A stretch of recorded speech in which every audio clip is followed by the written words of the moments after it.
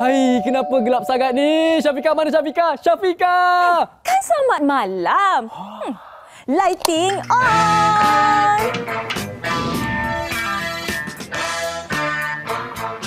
Dengan konsep yang baru Berwajah baru tapi dengan pengacara yang sama bersama dengan saya Double N Narinodin setiap hari Sabtu dan saya Syafika Isak setiap hari Ahad sudah semestinya di saluran berita RTM My Preview 123. dan juga live Facebook Selamat Malam Malaysia. Jangan lupa saksikan kami berdua.